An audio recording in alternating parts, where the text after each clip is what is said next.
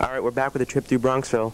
And Diane Zeman, um, would you mind showing us around the Review Press Reporter uh, room? Well, this is not all the Review Press Reporter. This is the uh, main offices of the Herald Statesman and the Daily Argus and the Review Press. We all share these uh, new quarters down in uh, Yonkers. Uh, the Review Press corner is over here.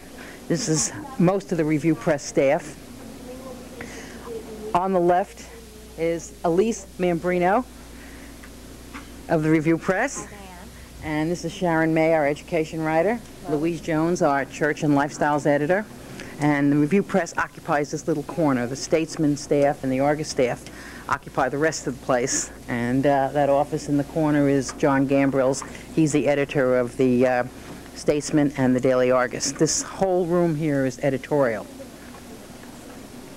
Uh, the circulation department's on the other side, and in the back there's a loading dock where we get all our papers. So it's all right here. The review press section is right here and part of this, and then my office back there. But we share these very comfortable, very nice quarters here. We moved in last June. We have um, our fax machines and our printers and the computers, and uh, they don't use teletypes anymore anyway, not here.